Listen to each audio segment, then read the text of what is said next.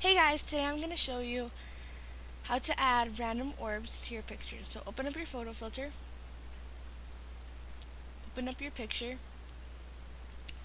and go to the brush tool, a spray tool, and click on it.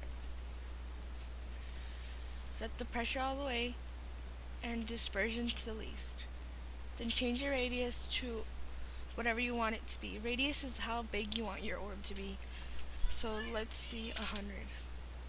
Now click on whatever color you want it to be. I'm just going to click on random colors. Blue, pink, yellow.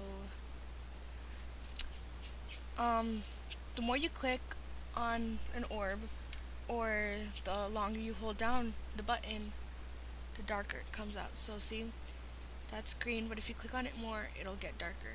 You can also hold it down more, longer, to make it darker. Okay, so that's all that. And a lot of people make a dramatic light effect with the, the white color. So set your radius to about 200 and spray it at the corner of the picture and that'll make it look like a spotlight and click on it a few times to make it darker. And you can add one right there. But the one in the corner is what a lot of people use. Okay thanks for watching and if you have any questions or comments um, just leave them here on my YouTube or on my MySpace. Thanks bye